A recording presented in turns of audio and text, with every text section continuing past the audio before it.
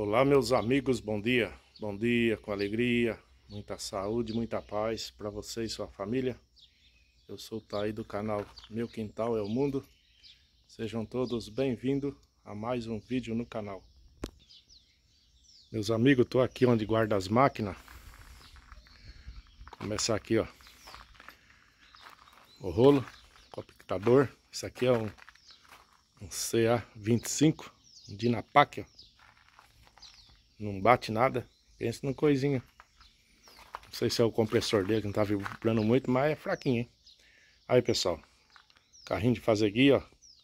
Quem nunca viu, isso aqui que tá fazendo as guias. Uma coisa muito simples demais, viu? Olha. Joga o concreto aqui. E o, o próprio concreto, a hora que, que vai acionando, essa forma aqui ela vai para frente e para trás, para frente e para trás. Ela vai fazendo o carrinho andar. E a, e a guia fica pronta. É muito simples demais, viu? Tá aí, pessoal. A jacarezona parada aí, ó. Descansando também. Hoje é domingão. Eu vim aqui para dar uma revisão na escavadeira. Choveu bastante de noite. Se não chover amanhã, nós trabalhamos, né? Então tem que revisar a bruta, né? Ontem eu fui lá na fazenda revisar a retro. Sábado não trabalha também lá na fazenda, né? Seu Pedro não trabalha sábado. Então fui lá, troquei filtro de óleo. Dei uma olhada lá, engraxei a máquina, deixei tudo no jeitinho pra amanhã ele só pegar e trabalhar. E a jacarezona também tá aí, ó.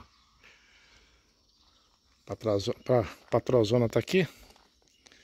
A patroa agora ficou boa, depois que ela ficou ruim de fazer curva agora que soldou lá, fica tudo bloqueado agora.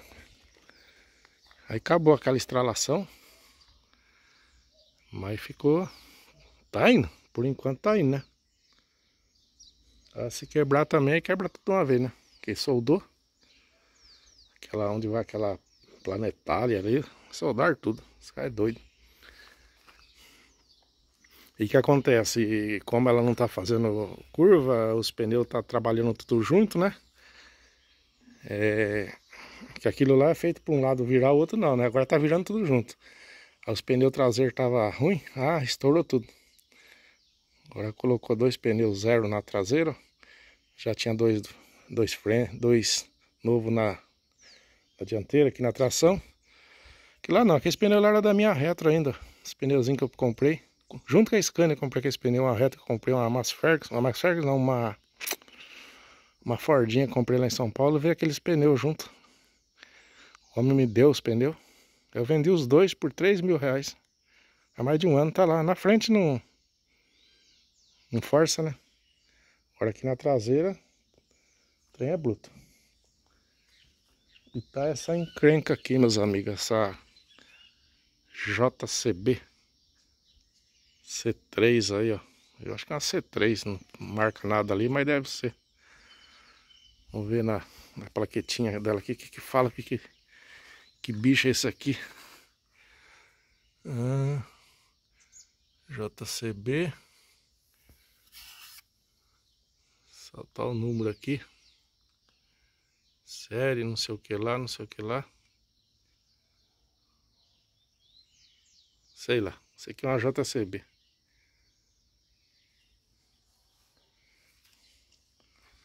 Não falar outra palavra, né? JC.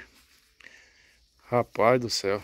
Bem com... Eu fui num, num, mecânico muito experiente que tinha aqui na cidade de Serquilho. Meu amigo Valdir. E o velho manja de máquina, hein? Ele falou, rapaz, eu falei por ele, o Valdir, tá saindo muita JCB no leilão das prefeituras e tá saindo com preço até bacana. Ele falou, tá aí, se ela tiver aí boa, até umas 8 mil horas, 10 mil horas, se for bem cuidada, ela vai bem. Passou de sair, é bucha. Começa a dar um monte de defeito, ninguém descobre o que, que é. Para descobrir, fica o mês inteiro batendo na máquina. E tá a prova disso aí, meus amigos. Essa máquina é 2000 e... Se não me engano, 2009. 2010, uma coisa assim. Ela trabalhou aqui uns dias aqui. Agora começou com defeito aí, ó. Anda um pouquinho, para. Anda, vamos, anda pra trás um pouquinho, para. Agora nem andando mais, tá? Já veio quatro, pessoal. Quatro. Já veio um eletricista. Aqui não deu conta da cidade. Veio outro eletricista de fora. Também não, não deu conta. Veio mecânico, já veio mais dois mecânicos. Eu saiba, né? Já veio uns quatro. Também não achou defeito da máquina. Aí fala para outros caras vir, quando fala que é JCB, ninguém quer vir. E tá aí então, meus amigos. A maquininha é muito boa de trabalhar. Eu trabalhei com ela, máquina gostosa. Máquina tem força. Mas é manhosa, é milindrosa, hein? Tem que ser cara que mexe com isso aí mesmo, já sabe os macetes, né? Agora disse que vai atrás de um outro cara aí que diz que o cara manja de JCB. Vamos ver. Depois que resolver aí, eu vou falar pra vocês o que, que era o defeito dessa máquina. Mas é uma máquina que foi muito trabalhada, né? Então, é que nem o Valdir falou. Até 8 mil horas, 10 mil horas vai bem. Se fazer as manutenção certinho, a máquina bem cuidadinha, ah, vai ter mais, né? Mas geralmente é isso aí mesmo. Agora tá aqui, ó. A enferrujada aí, ó. Agora vamos... Vamos dar uma revisada na bruta aí, né?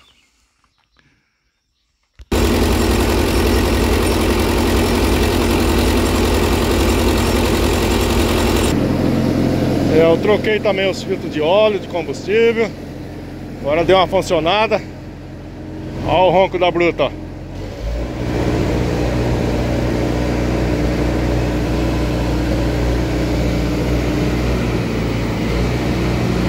Zero bala.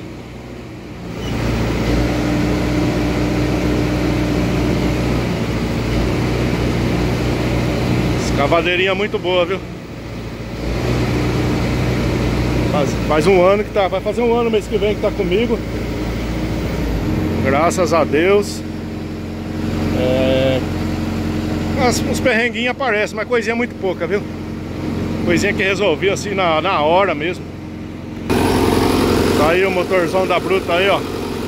Funcionando redondinho. É um motor Cummins 4 cilindros, motorzinho econômico. Manutenção barata. Uma maquininha Pra quem tá começando aí eu indico, viu? Maquininha que tem peça, todas as peças que precisar tem. É o motor de giro dela, não tem vazamento. Foi feita uma revisão nele máquina tá suja. A máquina precisa de uma pintura, né? Mas parte mecânica tá muito boa.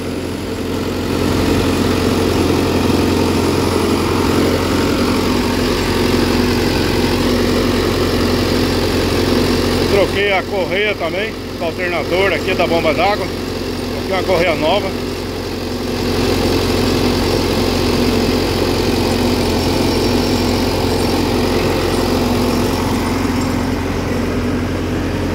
Aí, ó. É de escavadeira, rolo, a troll e a jacarezona. Tudo aqui dentro desse,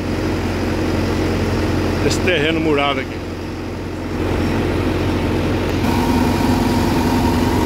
Aí pra vocês verem aí, ó. O capu dela aí, todo enferrujado.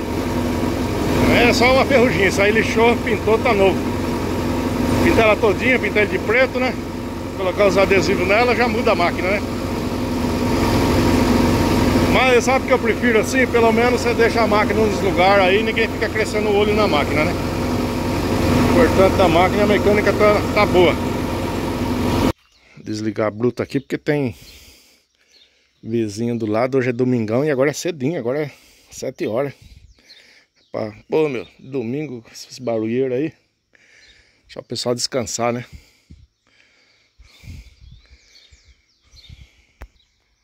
E você, meu amigo, estiver assistindo o vídeo aí, tiver JCB, já passou uns perrengues aí, diga pra nós aí o que pode ser que tá acontecendo com essa encrenca aí, ó. A maquininha muito boa de trabalhar, mas... Como é que se diz? É manhosa, né? Tem que ter as manhas. Então tem com certeza já teve muita gente que já passou por isso nós estamos passando aqui, né? Então deixa nos comentários que acontece? Da partida, que ela tá parada, esse da partida ela anda um pouquinho, coisa de de 10, 20 metros já para. Aí não vai nem para trás nem para frente. Aí você desliga ela, dá um tempo, ela anda de novo um pouquinho. Mas parece que ultimamente, é sexta-feira, para guardar ela aqui, acho que ela nem andou mais. Teve que guardar empurrando correto.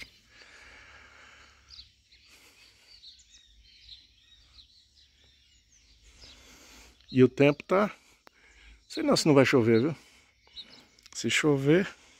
Aí amanhã nós não trabalhamos nem aqui e nem lá na fazenda. Aí depois eu falo para vocês, ah, compra uma, uma Case, uma 580L, uma 580M, uma FB, né, uma FB, é, uma Fiat Alice, né, aquelas de 90, 98 para cima, uma maquininha muito boa também. É, por quê? Porque é tudo mecânica, né, pessoal? Mecânica é mecânica, né? Hum, dá dor de cabeça, que nem a retrinha lá, 580 ela minha, trabalhou aqui quase um ano no loteamento. Trabalhou a semana inteira na fazenda lá, cinco dias direto. Não dá dor de cabeça. É só uma troca de filtro. Coisinha boba. Então para quem está começando, se o camarada compra uma máquina dessa aí, começando, sem dinheiro, uma máquina dessa agora desse BO aí, como é que coitado faz? Hã? Não consegue descobrir conserto não é barato, porque cada visita de mecânica é cara. Aí o cara já começa enrolado, né? Se não tiver um dinheiro, quebra na emenda. Quebra até em fora da emenda, né? Você tá doido. Então, agora se o cara tiver aqui em outra máquina, eu tenho a outra máquina, quiser comprar uma dessa para arriscar os olhos, tudo bem, porque se ela der pau, tem a outra para trabalhar, né? Mas o cara comprar a primeira máquina, cai logo numa, numa máquina dessa já bem usada, olha, na minha opinião, na minha opinião, eu não compraria. Preferiria uma 580H das antiguinhas, uma MF86. Eu tenho a MF86 ali, ó, tá vindo fazer o serviço dessa máquina aqui, que é levar esse carrinho todo dia no loteamento ele tem que levar e trazer de volta. E colocar areia nos pontos para os caras dar acabamento na guia, entendeu?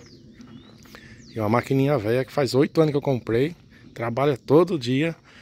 E até hoje a única coisa que eu fiz nela foi trocar filtro de óleo, de motor, óleo de combustível e, óleo, e só, mais nada.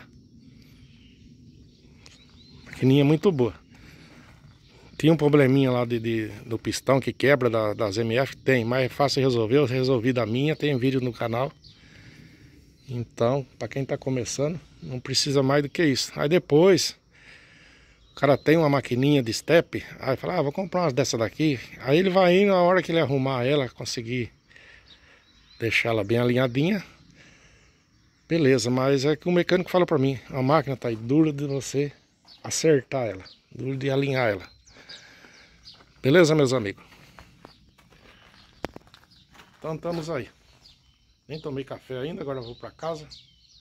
Tomar um café da manhã. Hoje tem, ó, almoço na casa do sogro, um churrasco lá, que hoje o sogro é aniversário, 74 anos. Então vamos comer um churrasco hoje na casa do sogro. Beleza, meus amigos? Um abraço a todos aí. Não esqueça de se inscrever se estiver gostando dos meus vídeos. Se estiver assistindo até agora, porque está gostando, né? Então se inscreva aí, ó, de graça, não paga nada. Um abraço a todos, até o próximo vídeo e chora o pau.